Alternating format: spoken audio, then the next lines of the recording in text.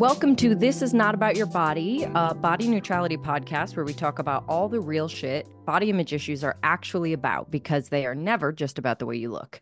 I'm your host, Jessi Kneeland, and today I have with me my friend Rachel Kimsey, who is an actor and voiceover actor, a former personal trainer and yoga instructor, an amateur homesteader, and a mother of three.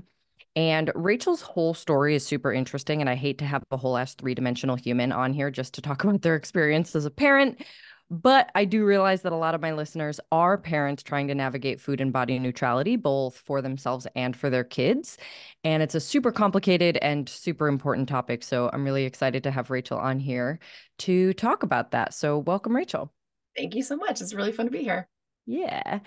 Uh, okay. So why don't you start us off by sharing a little bit about your journey to becoming a parent? Like, what was that decision like? How did the experience compare with expectations? Was that something you always knew you wanted to do? Um, yeah. I love the question right off the bat because it was absolutely a decision for me. Mm. It was not a, a foregone conclusion.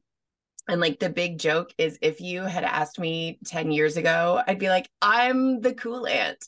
I was invested in being a cool aunt. Like I have, I'm one of five kids. Um, uh, my my kids have uh, a dozen uh, cousins. Like there's, I come from a big family. My my mom's one of five. My dad's one of seven. Like that's it's a it's a big crew. Yeah. Um, and what I realize in retrospect was I know how big a deal it is to have a family. And so I was just shut down on the idea unless I had the partner that was the right partner for me. Like it just it mm. didn't register as a thing that I was going to do until all of a sudden I was like, "Oh, that might be a thing I want to do when I was in a relationship, but it wasn't one that was conducive to that, which made me separate from that relationship. And then I realized I was sure. like, I'd rather be alone or with somebody who will do it as a full and complete partner to me. And there is no middle ground for me. Um, okay, so the topic of pregnancy and body image, I know, is something that so many of my listeners and my clients struggle with, whether they're in it now, they've been through it, or even if they haven't done it, but they're like really anxious about going through it. Um, I've obviously never been pregnant myself, but I've coached many folks through the experience and I know that it's it's different for everyone. But I would love to have you share a little bit about that experience for you. Uh, body image through the changing stuff of pregnancy and postpartum and all of it. So I was never a person that like couldn't wait to be pregnant. Like I remember mm. so I was raised in a very conservative, religious, authoritarian, patriarchal culture um that has like a default of large families and lots of babies and mm-hmm. and so i the ethos around me and lots of the the girlfriends that i had around me were like i can't wait to be pregnant and feel that life inside me yeah. and i remember very clearly being like 22 and going that sounds horrifying to me yeah and, that, and that shifted over time but i do remember feeling starkly different from the people around me and that the, in that this thing they were excited about just seemed terrifying and off-putting mm. and foreign to me. Yeah. And I'm very grateful for my mother who had five babies. Um, that when I mentioned this to her, she was like, there are other ways to have a family. Like I give her a oh, lot. That's yeah, right? that's a cool answer. You not have to come out of your body if you want mm-hmm. to. And I was like, oh, and I give her a ton of credit for that sensitivity. And yeah, it's for like, I can see where you are in this. Mm-hmm. Um, and eventually you know my mind changed and i i had some wild pregnancy experiences personally and if you asked me to say did i like it or not? I would say yes. Um one of my pregnancies was excruciatingly painful. Hmm. excruciatingly painful. One of them was kind of like i guess i'm pregnant i, su- I su- guess. Like huh. um and the one in between was sort of in between and that um that pregnancy there were some complications that had emotional stress even though physically like it was fine and i'm also going to acknowledge a privilege of like i had no fertility issues i was very very very yeah. very to get pregnant each time i chose to be pregnant and yeah. not to be pregnant when i wasn't wanting to be pregnant and yeah. that is so lucky and not a given for people at my age. And having come out of the space of my body is my job, visually, right. actor, and physically and performance wise as a coach and a trainer and a yoga teacher, my first trimester of my first pregnancy was so disorienting that I like I made a point of talking to other people about it. I was like, so there's this feeling where you know that you're pregnant, but culture says you're not supposed to talk about being pregnant mm-hmm. because you don't want to burden people with your grief if something goes wrong. Yeah. But we didn't do that. I, I specifically told everyone that whose support I would want if something uh-huh. if if we had a miscarriage, we'll just use yeah. the word. Um I, I told those people like I need them to be on my side in case I need their support. And I was very fortunate that was not the case. Um and there's this weird feeling where I'm like, my body doesn't feel like my own anymore. Hmm it's not doing anything weird yet, but it's not behaving like it was. Sure. It doesn't look pregnant. Uh-huh. Somehow we have this idea that pregnancy looks like a giant baby bump, even right. only at the end. But it doesn't look like it used to look. And even if that that isn't a self-consciousness or like oh i'm you know judging myself over my appearance just the foreign nature of like something shifting and right now it's shifting slowly enough that maybe no one but me notices but i don't feel quite like myself in this space yeah. plus i'm really tired and maybe you're sick and like the things that you used to do to nourish yourself don't necessarily work anymore and and the emotional baggage of like well do i take my vitamins every day and what do i mm-hmm. eat choline every day or do how do i serve myself and there's all of this stuff that happens yeah. that sometimes can be extremely disorienting even though it's a positive choice that you yeah, have brought yeah. yourself ideally by choice or even accepted if it sure. in your circumstances right in my case it was an active choice um, and even with all of that, there was still this feeling of like, I don't feel like me. Yeah. And am I going to feel like me, but pregnant? Because I don't mm. feel like me with a baby yet. I just don't feel like me. Yeah. And it's a really strange experience. And I remember battling, especially the first time. It for me, it lessened over the next two. Um, but especially the first time I was like, I, I want to tell people I'm pregnant, not fat. And yes, then, I've heard that from so many people. But yeah, that I was like, how could uh, how could how could I think that about myself or about other people? Like putting that thought on them or thinking that about me. And and what it really comes down to is the fear that our society doesn't have any compassion for women's bodies changing right at all right it's that that fear of like like oh i don't want to be judged for changing yeah. because you're actually going to think it's great as if the idea of gaining a little weight is yeah or like being bloated or any of the things that are yeah so what's interesting to me about this is i always tell people i think a lot of people my clients especially are really surprised to hear that all body transitions are disorienting and require some processing and they can be uncomfortable even if the transition is into something that sort of is like quote unquote positive. So if somebody's trying to lose weight and they lose weight, there's still a weird disorienting transition there. Um, we obviously focus on the negative experience of that transition in body image when it's a change that they didn't want, like a health change or weight gain that feels, you know, like something they didn't want, whatever but it is just a weird identity experience to have a changing body. And when those body changes happen quickly, like in pregnancy or side effects to a medication or any of these things, like it, it's just bizarre. And bizarre stuff can be uncomfortable to process. Yeah. And and especially when, as you say, like even when it's a welcome change, even addressing the thought I I am changing and that is uncomfortable can feel like can feel bad in itself. Even addressing that mm. thought, you're like, oh, does that mean I don't really want this? Does that mean that I'm not going to be oh, wow. that I'm not ready? Does that like even that can Ooh, I never thought about that. Some stuff. And and it happens again postpartum, right? The baby comes out, however it comes out. Mine were all um in stages down traumatic to less traumatic C-sections. It's not at all what I wanted. Yeah. I was one of those I wanted to be like unmedicated home birth. Uh-huh. And I ended up with a completely medical experience and it was that was traumatic. That yep. that took therapy time. I recommend sure. it. Um and then you go home and you're and no one is there to support you. there's no there's no like if you have built yourself a support, you have it. Yeah. Maybe maybe you're fortunate to have it fortunate enough to have a doula or a mother or a mother-in-law or yeah women because it's usually women to come in and support and hold you during this time and maybe not. Yeah.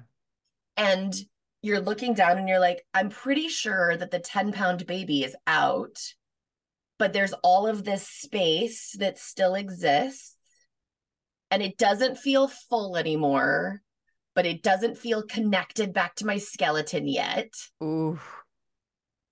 Because literally, your organs have to find a place to go back to, and they may not wow. go oh. back to where they were beforehand.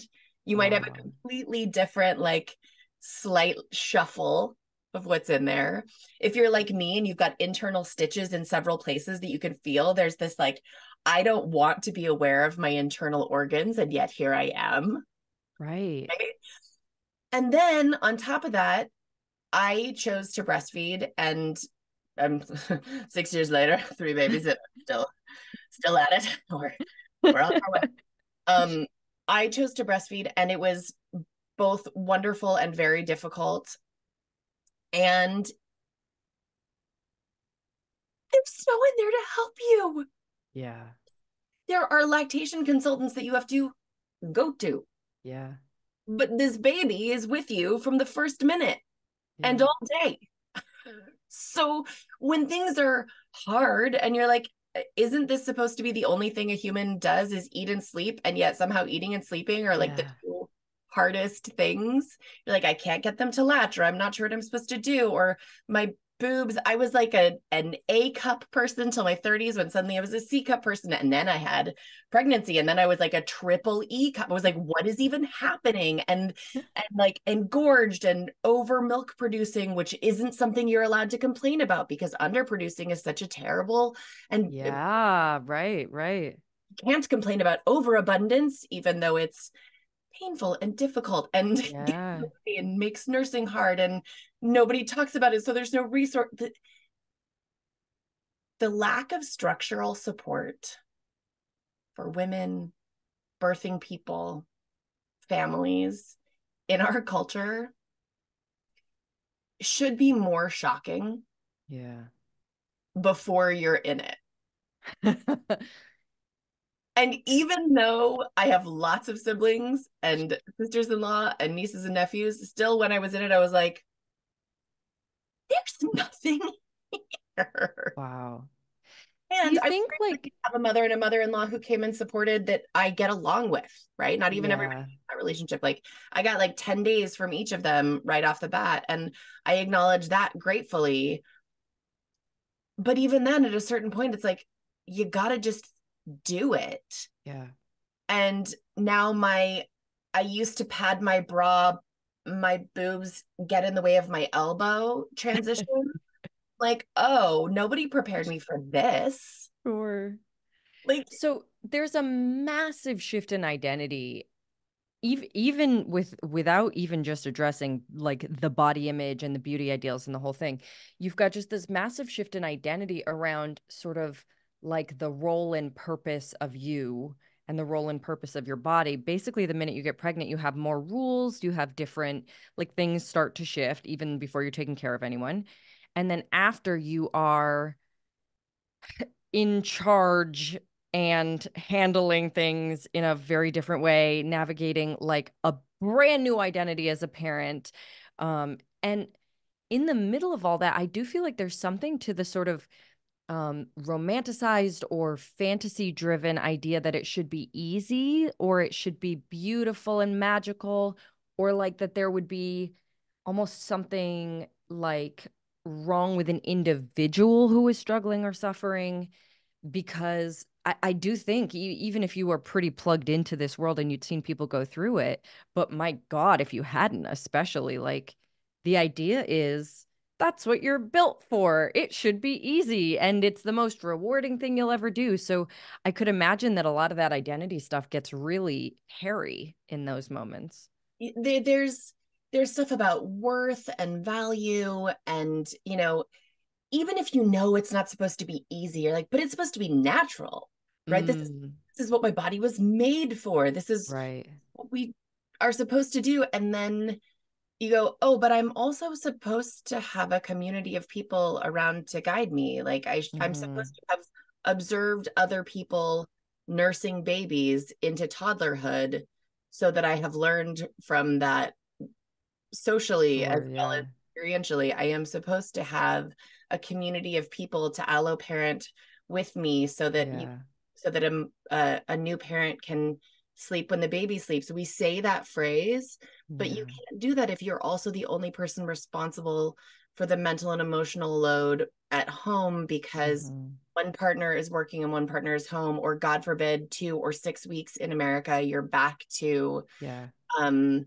I mean unless you want to be back to back to work right away because we don't have any support to be able to stay in that moment like these these platitudes that we offer about how natural it is and how beautiful it is and how how instinctive it is only yeah.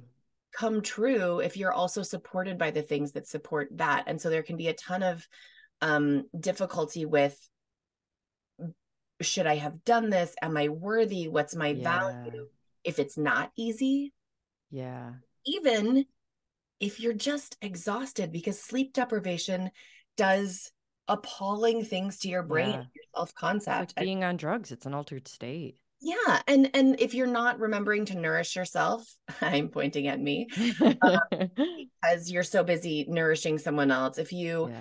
don't shower more than every ten days, because you're caring for someone else, like the, yeah. the level of self care that so often just goes out the window, um, even under the best circumstances can then separate you so much from your identity as a human being outside of Ooh. the nurture of this tiny thing. And then, Jessi, we're still talking about infants.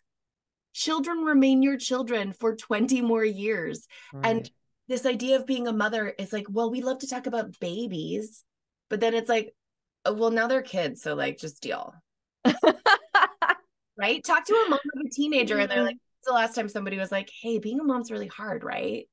And they're like yeah no one talks to me about that anymore. They they oh, want to talk interesting. in the adorable clothes right? There the the shift in the needs to address and the unparenting and reparenting of yourself and the addressing of your own stuff as your kids grow into the stuff that you ran into growing up right? Yeah. like those things will continually change and continually challenge your self identity um i have my my daughters both have red hair and my oldest daughter has red red red hair. The kind of red hair that means that strangers touch her in public. Oh. the kind of red hair that means that we cannot go anywhere in public without somebody commenting on her body. Now here's the thing. I'm going to acknowledge she is not being judged negatively. Sure. She is not being um, put down yeah. She is not being pitied for a disability or something, right? And yet, from infancy, I said, Oh, people are going to talk about my child's body. Wow. Without her consent and uh-huh. try to touch it without her consent. I have to get on top of this now. Yeah. I have to develop strategies now. Yeah. One of my other kids has a, um, a birthmark on their body that there is there was never a time that we went someplace that somebody didn't go, oh no, and ask mm. about it. And so I was like, I need, he's fine. Yeah. Nothing wrong with him. There's nothing wrong with his body. Even beyond, there's no judgment of it. Yeah. Yeah. But I was like, oh, I need to get on top of this now. I need to know what to say to kids, which is different than what I say to adults. Sure. Right. To kids, for him, it would it's it's oh, that's just how his body is made. Oh, Everybody's yeah. bodies are made differently, and that's how his body is. It doesn't hurt him. Yeah. To adults, I say, Are you talking about a, a child's body? oh, I like that. I, like, and it's just like, I'm like, Are you talking about his body? And they're yeah. like, and and oh, oh yeah. Yeah. You know, the first time that I was sexually assaulted, I was five, six, seven, really little, little, mm-hmm. little, because I was a pretty little girl that people felt like they could touch in public. And I go, oh, it's not too early to teach children. Yeah. It's okay to step back from someone else's touch. Yeah. To not oh. the person who insists on a hug, to not kiss the uncle who wants that. Uh, it was none of my uncles. Yeah, yeah, yeah.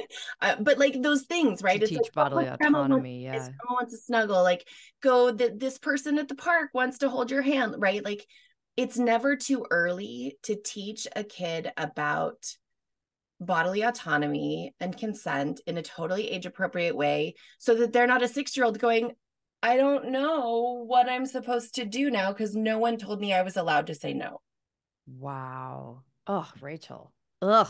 And to have a five year old or like whatever whatever age, I mean, I could imagine that being like a second wave of processing nightmare. And and the thing is, like I've done a lot of my own work on my own stuff.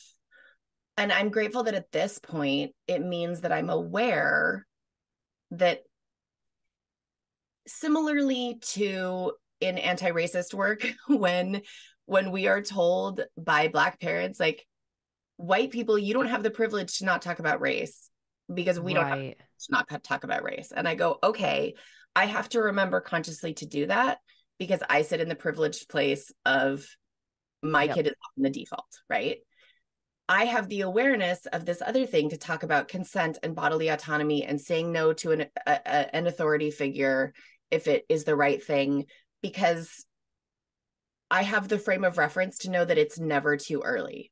Yeah, yeah. And here's the good news. It's also it doesn't have to be a big deal. Right.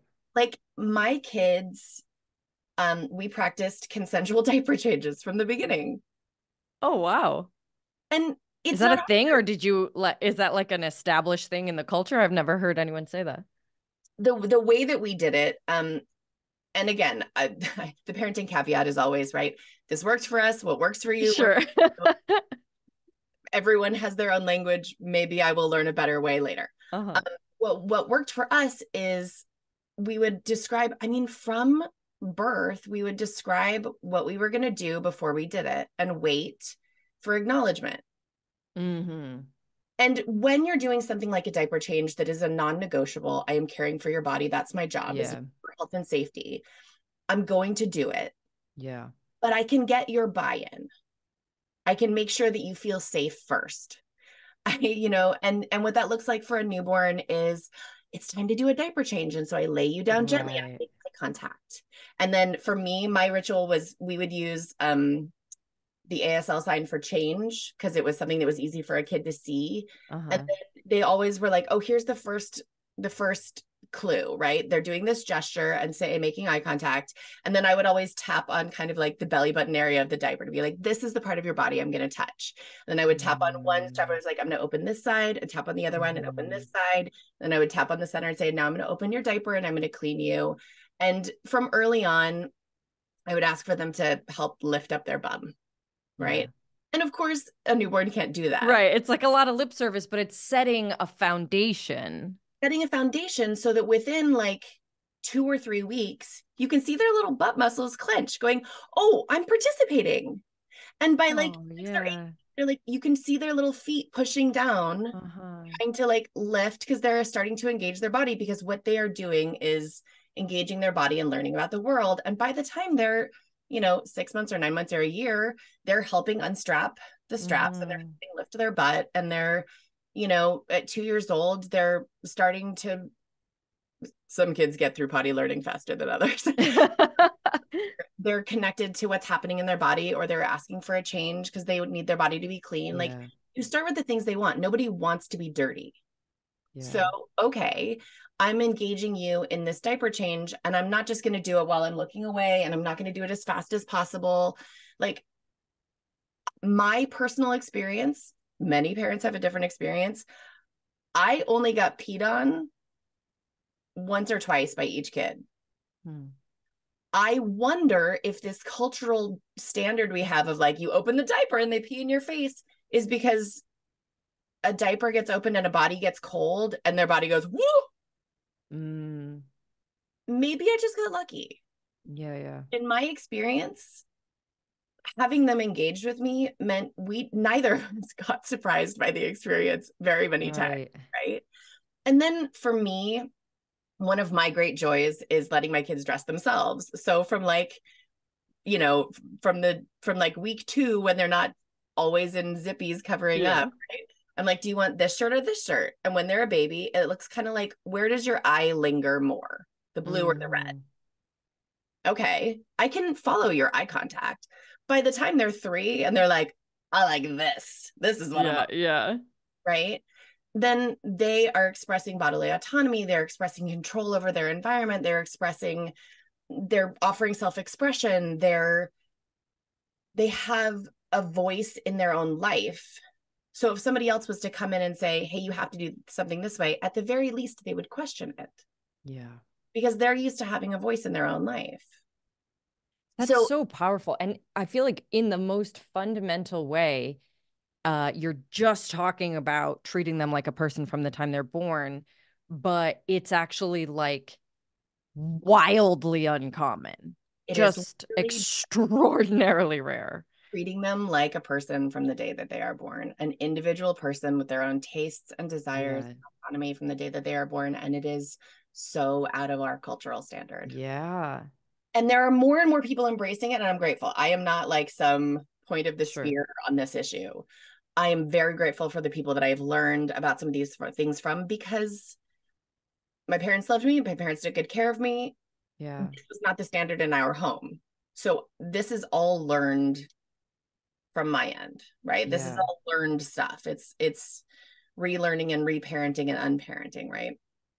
Um, but it all comes from you are a person with your own tastes and desires. That goes to food that goes to your physical space yeah. that goes to the kinds of shoes that you want to wear on your feet right like for my family we practiced um baby led weaning because it just made sense for me mm. um to feed them food and mm. let them mm. experience food instead of processing it down to a puree other families make a different choice and it works great for them and i support it i think all three of my kids first food was like some kind of steak they're gnawing on uh-huh. and like, they didn't get it off but like they it was like oh here's the iron that you're that you're not getting because breast milk doesn't have the higher levels of iron in it mm. that you need so it's not a surprise to me that they all kind of reached for yeah. a meat something uh-huh. you know but that also means that when you know they're a little bit older and they are not reaching for the green vegetable on their plate today I'm not making them take two bites of it before they get yeah. on the ball. Okay, so this is this is a huge major topic and I just want to introduce it properly. So I know that you and your partner are committed to creating uh, to the best of your ability a food and body neutral environment for them early so that they have less shit to unlearn later, less likelihood of having like disordered relationships with these things.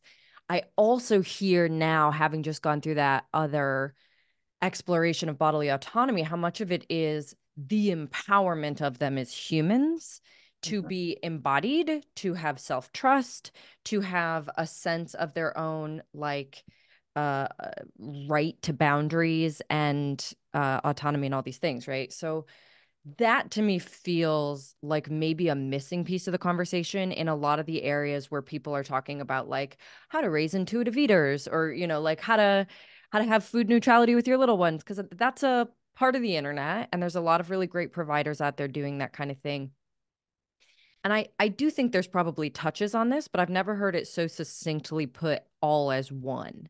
Like teaching them to be whole people requires an intuitive eating approach or a food neutral approach because it requires and body neutral as well like it requires that they understand hey you don't get to touch my hair just because it's a really cool color. Hey you don't get to tell me uh stuff about how i look or whatever because that's not appropriate. And also what are you doing? Like there's so much in this that is a much bigger question than just how do you keep your kid from developing an eating disorder? Right yeah. And and fundamentally i hope um it all comes down to do you know yourself and can you trust yourself?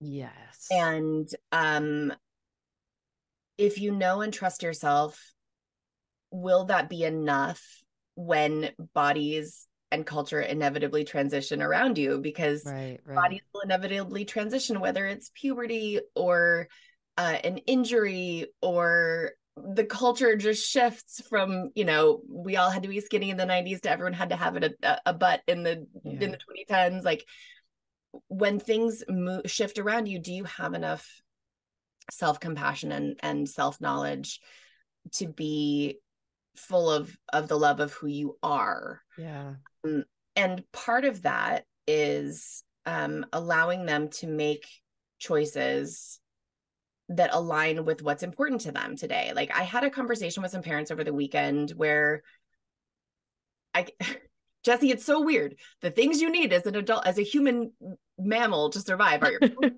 and food and sleep are hard. They are hard.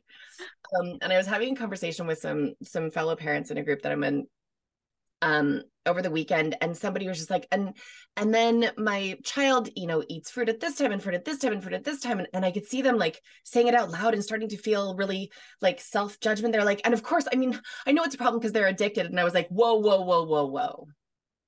With love and compassion for you i have to push back. They are not addicted to fruit.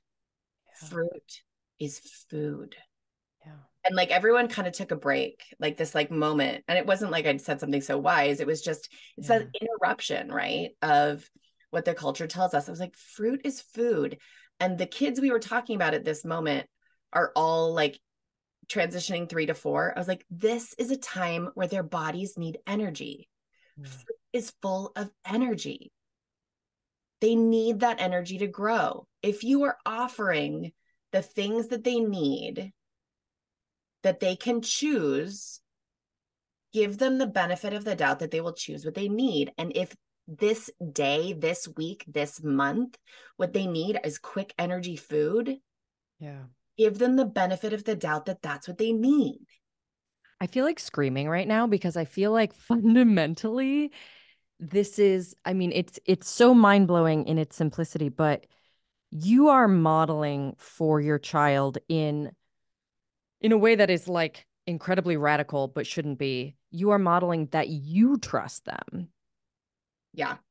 That's it. You are building an empowered embodied self-trusting self-knowing child simply by saying i trust your body. If you are reaching for these things uh, assuming I, I guess that you're probably providing a variety and they're just choosing from there if you are reaching for these things, I trust you. And what most people teach their kids totally on accident, I'm guessing, because I don't think anybody's thinking, oh, they can't be trusted. It's just, it's my job to make sure that they eat, you know, the healthy things according to my standards or whatever, which tells the kid without ever thinking about it, I don't trust you or your body. You are not a reliable source of information. And you should listen to me and not you. And that sets us up for basically me having a job. Like that sets us up for all of the things in all of the body image and disempowerment space, right? Well, and here's the thing like the caveat to that is, of course, the human animal sometimes wants impulsively, especially, you know, small children. Impul- sure. Impulsivity is a hallmark of childhood. It's also how they learn, it's also how they gain experience and there's a time and a place for guidance but for, in my family, what that guidance looks like is hey, let's take a little break and I want you to check in with your body. Do you feel like you want yeah. quick energy right now? Or do you feel like this will be gone if you don't have it? Because that was something I was raised with, right? It was oh, scarcity. Yeah. Like I need to get it all right now because if I don't get it now, I'm not going to get any. Yeah. And so one of the things we talk about is let's have some and then you can have more. Mm. So some and then more. I was like, we're very explicit with you can have as much as you want, but let's start with some. Because a lot of times they'll discover that once they've had some, they're actually good. Yeah. That's enough. Um, but the feeling of scarcity will often cause yeah. that, that grasping um response, right? Yeah. So even just slowing it down and saying, "Hey, you can have as much as you want. Let's start with some." Yeah. Um and and again, like everyone needs to know their own kids. Some kids their energy systems can be out of whack and this is not something that'll work on day 1. We've been practicing this right. since birth, so my kids are in the practice of listening to those body systems and energy as a for instance, two days ago, one of my kids asked to make brownies. So I just said yes. And that night, the bigs wanted to have a brownie and then another brownie. And we were like, are we going to just let them have as many as they wanted? And I was like, you know what? Have a brownie. And it turned out they both wanted about one and three quarters brownies. And they both late. And the youngest wanted about half a brownie and then like to feel what it felt like to mush it. Mm. Would anyone have come out better in that circumstance by me saying, you can have one, one is plenty? Mm-hmm. Right. Then it creates a feeling of scarcity. It creates a feeling of the forbidden. Um, it adds to this yeah. this drama of the thing. So this and- is a huge aspect of intuitive eating and the binge restrict cycle that is so much of the healing work that I help adults do and unlearn later. You are basically giving them the space to not have to unlearn it later because you're just like, okay, well, check in. I mean, even just give yourself a bellyache. You don't need to do that too many times before discovering, you know, that that it's not worth the thing. So it really is just right back to like this is how bodies work they're pretty they're a self-regulating oven in a lot of ways if we let them be but the minute we start interrupting it the minute we start making certain foods treats or rewards or having that scarcity around certain things and and having rules around others or making the external source the authority on your body like now the whole system goes haywire. Right. And that's where you're going to see kids and adults like sneaking food binging or you know being sugar obsessed or whatever it is. And so part of that means that like in our life we don't make d- dessert every day but also if i do make dessert it's probably going to be put on the table with dinner. Yeah. And a lot of times my kids will eat the dessert 1st mm-hmm. and a lot of times they'll only eat a little bit of it and then they'll eat their food. And sometimes they'll come back to it and sometimes they won't.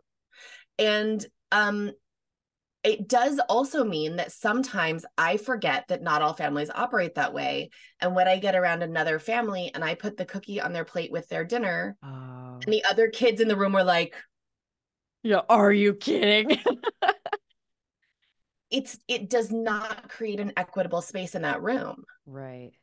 And then I have to decide, okay, is it more important to me that I feed my kids the way that I always feed my kids or that sure. this is an equitable space? And so usually when I catch myself, I'm like, oh, you know, not all families have their treat with their dinner. So we're going to wait with the other family because that's what works for them too.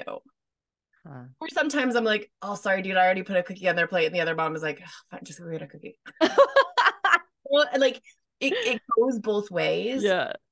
There's a difference between what happens in our home and what happens at large right? Um and so sometimes we have to accommodate for those things. And there are some yeah. times where you know I, i'm like oh maybe i shouldn't buy the $10 box of raspberries in november but i did and i don't want to see you waste the $10 box of raspberries. So i'm going to give you two at a time. Yeah yeah yeah yeah.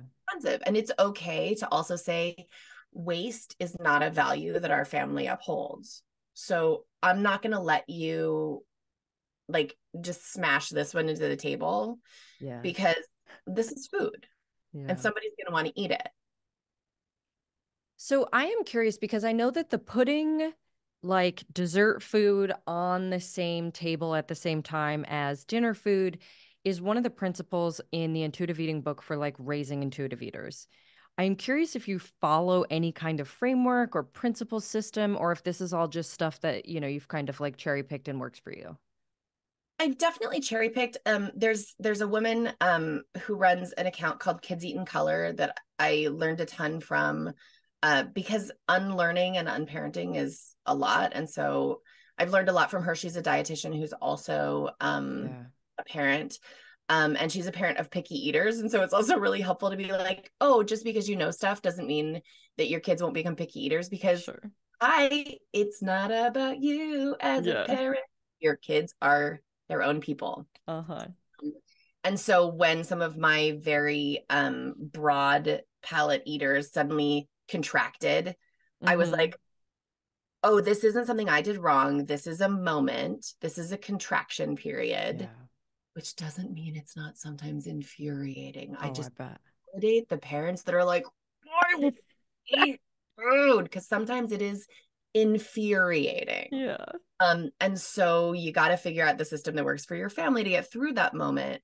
But I know that like my kid who ate every spice under the sun contracting down to a minimal amount is also part of developmentally the body shifting from I am provided nutrients by an adult to I am the size body that goes out and explores in the world. And so if I put everything in the world in my mouth, I could die. Mm, oh, that's so interesting. Like there's this moment. That there's a brain development aspect. Most yeah. Pellets contract. Hmm. And the theory is that evolutionarily it supported us from like oh my gosh and then it re-expands and maybe maybe that's true maybe it's not but it certainly helps me get through yeah. this this isn't forever just to have a story to explain it yeah i'm like i'll i'll take a story if that's what it is um and so whatever system works to help take the emotional weight out of it yeah. is the one that works I was raised in the 80s and 90s when fat was bad and margarine was good. And, mm-hmm. you know, and my mom was being the best, most healthy mom possible by giving us margarine and skim milk and, Same. you know, stuff. I have that- like a lifelong vendetta against skim milk because of it. Dude, it's gross. Like, what? it's, it's, it, it sends me into a rage, skim milk. um you know and and my mom was a, a stay-at-home mom who you know cooked 99% of our meals mm-hmm. and all those things and it's still those choices are not choices that i am making now yeah um and everyone is doing their best yeah. right i also was very lucky to not have a ton of food issues that weren't just sort of like the broader cultural food issues yeah, yeah, yeah. So some of it is trying to get um to stay out ahead of that so that other people's stuff doesn't get written on my kids. Yeah, totally. And easier to see when it's other people's stuff. Yeah. Um, a huge part of that is I made an absolute commitment to myself that I would never ever diet in front of my children. Mm. And that when you are a year post birth and your body looks different than it ever uh-huh. had while being pregnant or before and people are asking you about it mm. It's a hard commitment to make. Yeah. Um and i'm but very it's very so powerful. You should be proud of it. Like it is just i think this is something people struggle with so much is when they are trying to raise the kids in the best possible way and maybe they do have a history of eating disorder disordered eating diet culture body image issues any number of things they know what it looks like to have a parent model certain things. So they are trying really hard not to and they're still in it. Yeah. And that back and forth i just i mean i work with people in this position all the time and it is brutal to feel like you're failing on both fronts catastrophically because like to give yourself that little bit of like oh I'd like to I'd like to restrict a little or I'd like to look different or I'm feeling bad about my body or I'm talking about my body this way or any of these things. And then knowing directly this moment makes my kids more likely to deal with what I'm dealing with today. And the thing that I would love to offer them is just not available. And here's the thing the answer is treat yourself the way you treat your kid.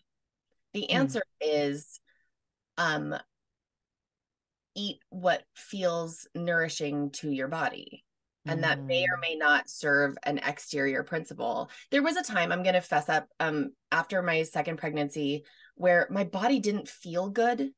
I was in pain every yeah. day and a dear friend of mine who's a fitness professional was sponsoring this like fitness challenge and i was like you know what i know about myself i know that when somebody says show up it's easier for me to show up Sure. So I signed up for this fitness challenge and I was like, I don't want to win. I am not interested in any of the things.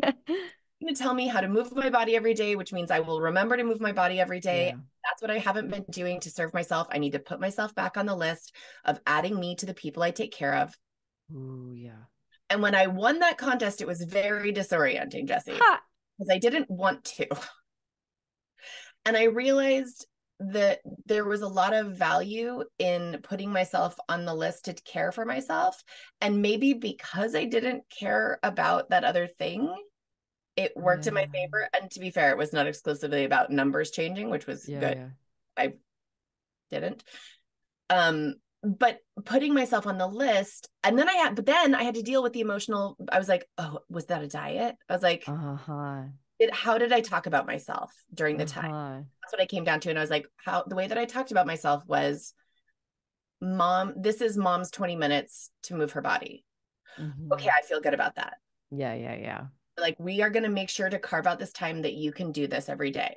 And so we called it mom's 20 minutes to move her body. I was like oh i can that's okay yeah, yeah, yeah. I can live with setting that precedent of moving your body is joyful. Yeah. I needed it to take care of me. And some days it was hard and some days it was easy. And the food that I was eating, if my kids asked, which they didn't, because why would they? Because we didn't model talking about your food. Right. I could say, this is the food that feels good in my body right now. Yeah. And some days when they were having dessert, they'd be like, Mom, do you want a cookie? I was like, I don't want one today. Yeah, yeah. Guess what, Jessi? Sometimes when I make cookies, my kids don't want a cookie today. Yeah. The number of times that I'll put like a little treat in their like lunchbox to to um preschool that some of it or all of it comes back. Hmm. It's not a zero sum day. Like you know, it yeah. happens not every time, but it happens regularly because they're choosing the thing that they want because they're used to choosing the thing they want. Yeah. So even that one time when I was like, oh, I did this thing. Did I violate my values? I was like, wait, yeah. how did we talk about it?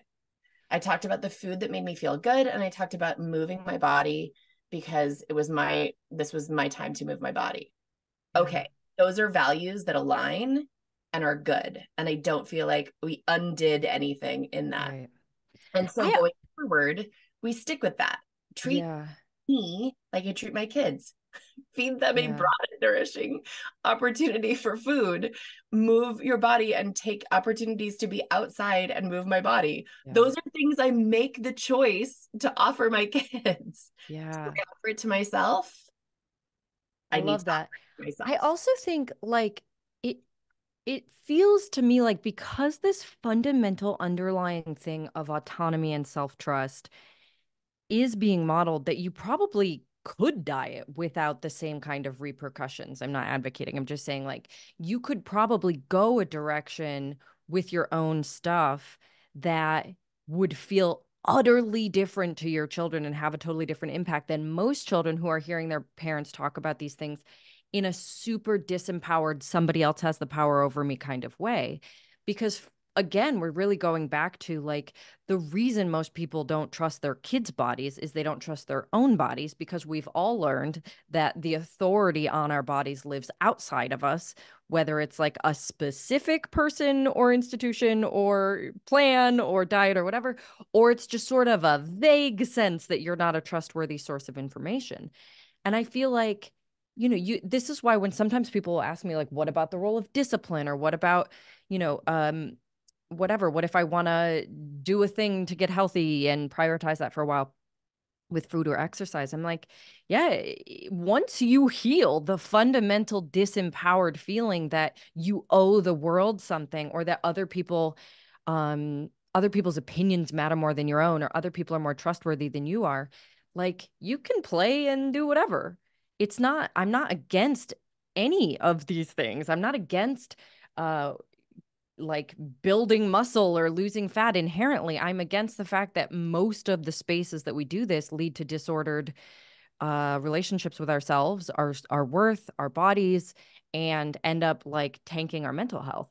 So really what you're talking about is modeling this was a choice i made and it's what i'm doing right now because that's like it's all inside of you right? If you were to be like oh i'm you know trying to eat healthy because weight watchers i don't know like any any other factor right? Or or even just mommy needs to lose weight which definitely places the authority into a real vague weird external space. Just even even owning it in that place inside of yourself this is what i want this is what i'm doing i'm doing it for me this is what feels good this is what self-care looks like for me right now. I think that changes everything and it's um it's it it makes it easy to talk about a lot of a lot of different kinds of care that way. Um mm. i have two um female bodied children so i am also trying to normalize periods. Sure sure. whatever comes in. And what that means is um having children you you just lose all privacy you know at some point you know each of them has walked in on me in the bathroom because they just do that Jessi i gotta yeah.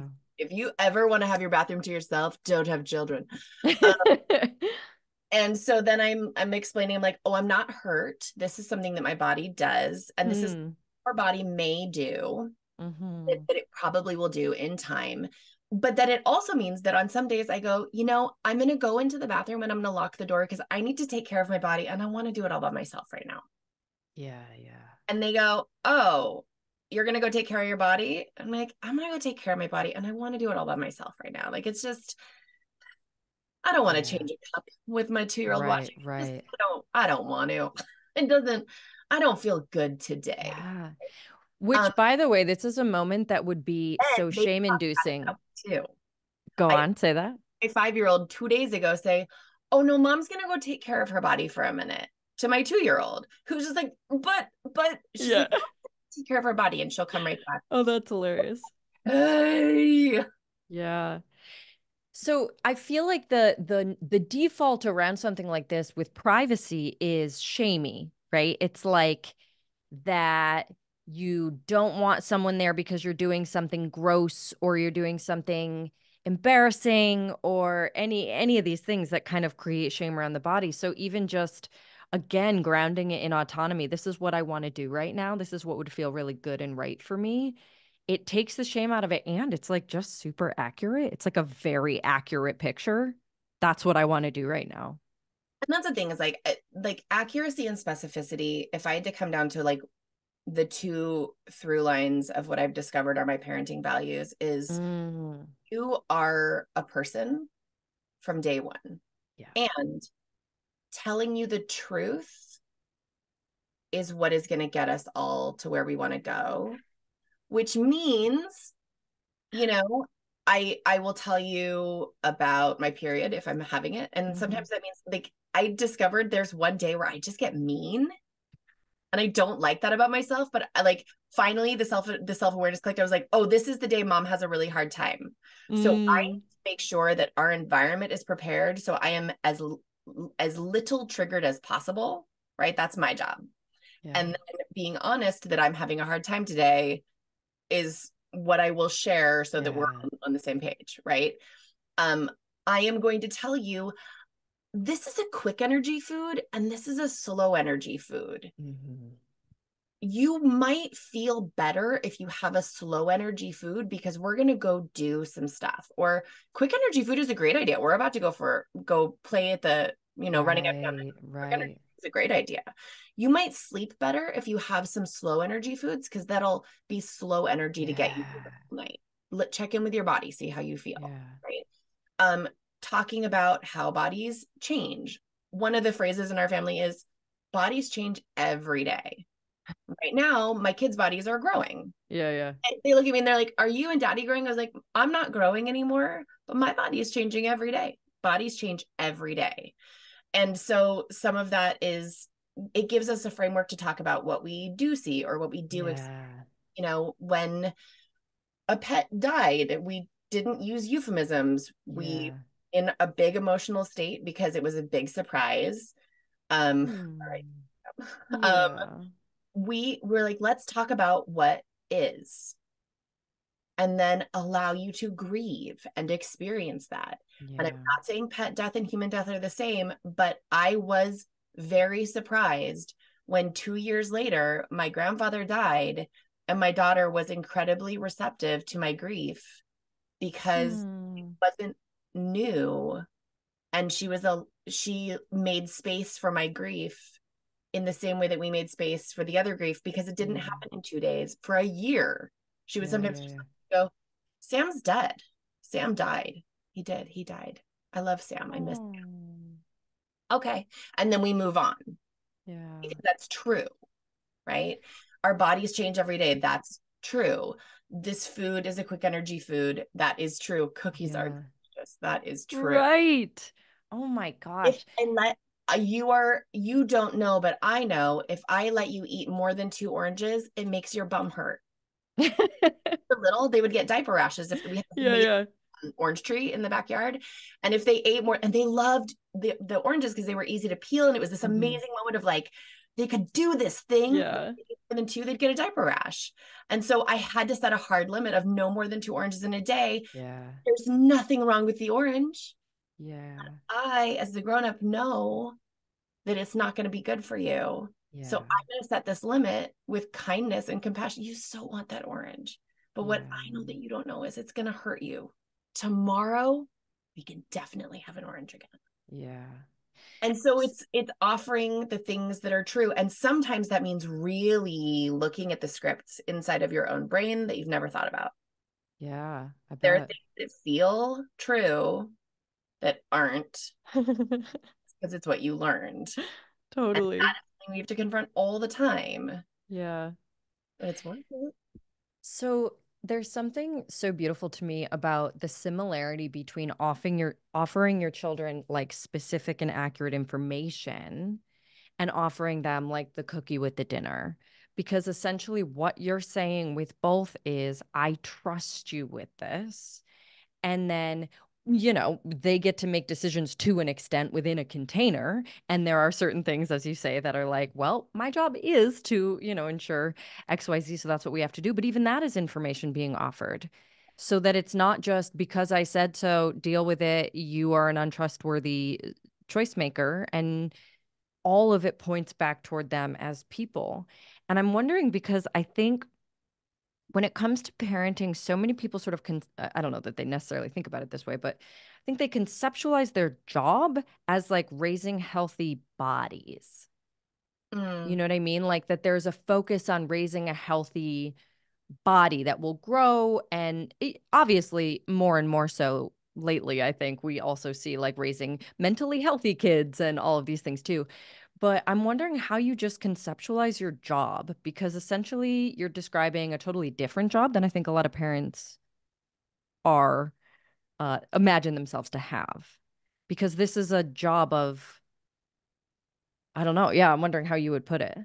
Well, I, I, what I was going to say is I think that there's definitely been a generational switch, and part of that is um, opportunity.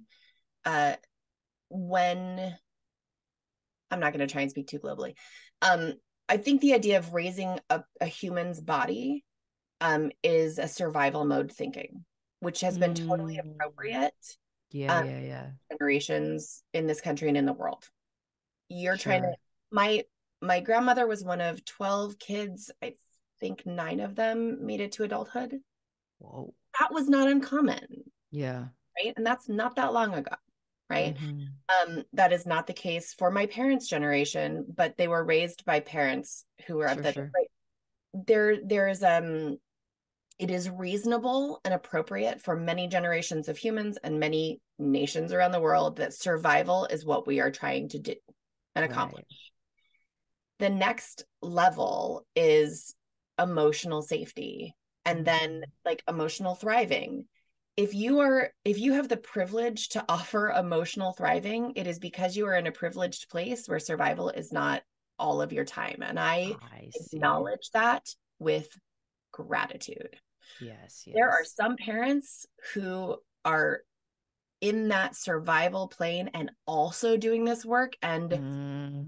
they are heroes because mm. it is a mm. lot yeah and it's simple which doesn't mean it's easy right. it comes down to trusting that they are a person who can express themselves and are of value just because they are. Mm. Even if they are not your mini me and they don't have the same yeah. hobbies as you and they don't love the same things you love or eat the same foods you yeah. eat or whatever like people any person will come to this journey with their own images on purpose or not of what they yeah, thought it would be right. And um and some kids are going to be easier for you for any adult to connect with than others because they are more like you or unlike you. Sure. But if you can come to the place if I can come to the place, if we can come to the place of allowing them to be who they are, so much of this unlearning that we have to, that that our generation of adults is doing in their 30s and 40s and 50s of oh i'm actually okay. There's actually nothing wrong with me mm-hmm. i am is maybe a journey that will be shorter for them yeah yeah, all yeah parents yeah. make mistakes all parents blow it i for sure blow it um but my hope is that we can avoid the long journey toward there's nothing wrong with me because of who I am. Yeah. And I think we're seeing that culturally. I acknowledge the incredible challenges that are happening politically right now, but we but we see that now in the kids who it doesn't occur to them to be in the closet when two generations ago. Right, right. Out of the totally. closet like that that journey has been so profound only in my own lifetime uh-huh.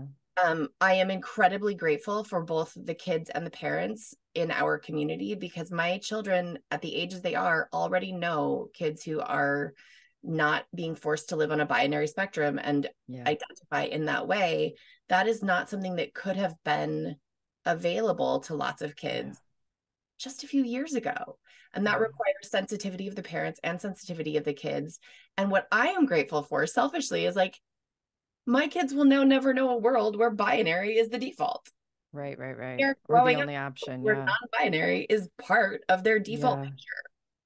So that is a door they're not going to have to shove open in 15 yeah. years. I think it's That's so so beautiful and so important to acknowledge that like there is an evolution culturally we are moving the right direction but still now there are people in survival mode and so if you as a listener are like well that's really cool rachel. I don't have the time money support resources whatever to do any of this stuff. Like i'm ke- just keeping my kid alive. That's perfect. That's appropriate and that's perfect. And there are plenty of people i think who are in a space of wanting to unpack this stuff but feel really lost. And i feel like you've dropped so many amazing bits of wisdom for what it can look like to center a, a kid's autonomy and um, uh, embodied self-trust essentially from birth so that there is less to clean up later if you have the ability if that is something you're interested in while you're unpacking your own stuff and navigating all of these things that like your job here if you can and want to can look quite different. Yeah. There's and that's the beautiful. for doing things differently than they were done to you yeah whatever those things are if you have the space and the opportunity to to give yourself permission to sometimes not be perfect at it Oof, absolutely. And that's hard. Yeah. And it's been for me a journey that is the most meaningful. The number of times in the last year especially, I don't know why this year especially, but that I I think learning to apologize to my children is the greatest gift I have ever given them. Wow. And here's the weight of that, Jessi. That means I have something to apologize for. And that sucks. And I don't remember adults ever apologizing to me as a kid. Yeah. Think about what we're modeling that, like the comfort I bring to myself, right? In those moments where I feel terrible and I have to repair is I am modeling that everyone makes mistakes. Yeah. You make mistakes, I make mistakes. That we can repair together. Yeah. That adults owe you an apology when they make mistakes too. That you are worthy. Yeah. Somebody repairing with you. That the adult's discomfort at having been wrong or whatever should never override the respect of the moment for you. Right? Like all of those things. And that is how I make myself feel better when I know that I have blown it and yeah, I have to come back yeah. with an apology. Okay, you know what's so interesting though, um, because there's like obviously a whole movement in like you know Disney and Pixar. We've got parents apologizing to kids for the first time. Sometimes that's the first place anyone's ever seen it, right?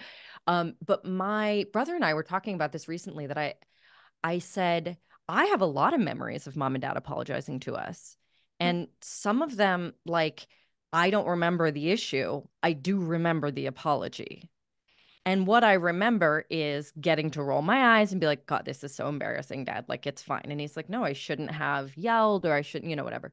And I'm like, Okay, you know, I get, I get to like be a scoffy kid or whatever. But in those moments, obviously they stuck with me for a reason.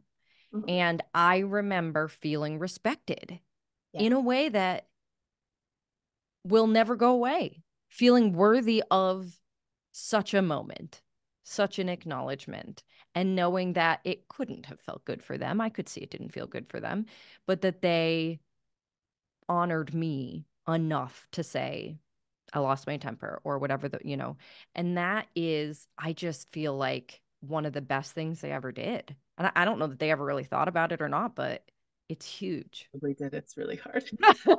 Probably. in it, right? Oh, and shame is so poisonous. But that yeah. shame, like, oh, I made such a big mistake. And then the best, the biggest cleanser for shame is connection. Yeah. Right. And like the, cleansing for shame of like, oh, I yelled at you. You weren't doing anything wrong, or maybe you were. Yeah. Yeah. I lost my temper. I lost my ability to manage myself. And now I have to, now yeah. I get to come and tell you that I'm sorry. Yeah and that connection is what washes away the shame of i'm a terrible person i'm a bad parent i should uh-huh. never I'm gonna, I'm gonna add all this baggage to their life I'm yeah gonna... you don't have to ruminate because you did the repair work. The the shame is real and the antidote is connection always. Yeah. and children are just as worthy of your connection as adults. Mic drop. Also um narcissism is the inability to tolerate shame. So like a lot of families would never be able to do this because if you have like a, a person who's intolerant, they're not going to be able to handle the moment and the thing. And then their kids learn to be intolerant too. Their kids learn shame is super dangerous and bad, and I should avoid it at all costs because no one ever modeled that it was okay and safe just to be in it for a minute. Yeah. Yeah. Okay, Rachel, this was an incredible conversation. We went way over, but uh-huh. I am so happy to have had you on here and talk about all the things. Um, do you want people to find you? You can tell them where to find you, if so, on the internet. Uh, right now, my internet is um mostly Instagram and Threads because okay. we, we don't like Elon Musk all that much. Uh, sure. Yeah, I guess I'm still on Facebook. Someday, maybe there will be other things, but I'm Rachel Kimsey. I'm easy to to find. I'm I mostly talk about um failing at homesteading. I went yeah. and got chickens, and now I'm attempting to garden, and I'm very bad at it. um, my my work professionally is voiceover which i love. Um so there'll be cartoons and video games and um you can hear me on cnbc sometimes i love it. uh, if you want to pop in there but um that's where you find me rachel kimsey. Awesome. Thank you so much for being here and sharing and bouncing all this stuff around with me. And everyone thank you so much for listening and i will catch you next week Hi everyone, I'm Jessi Kneeland. I just want to take a moment to thank you for watching this video. I put out new episodes of my podcast every Tuesday, so be sure to like, subscribe, and turn on notifications so that you don't miss those. And feel free to leave me a comment. If you are looking for more information about body neutrality or you want to work with me, you can always find me at my website, jessikneeland.com, or you can purchase my book, Body Neutral, a revolutionary guide to overcoming body image issues wherever you buy books, ebooks, or audiobooks. We can also connect on Instagram or TikTok. My handle is Jessi Kneeland. And I make this podcast for free and without any sponsors or ads. So if you want to support my show, you can use the Patreon link in the show notes and know that your support is always very much appreciated. Lastly, thank you to my brother, Jason Kneeland, for creating the music that plays at the beginning of the show. And thank you for listening, learning, and moving toward personal and collective body liberation.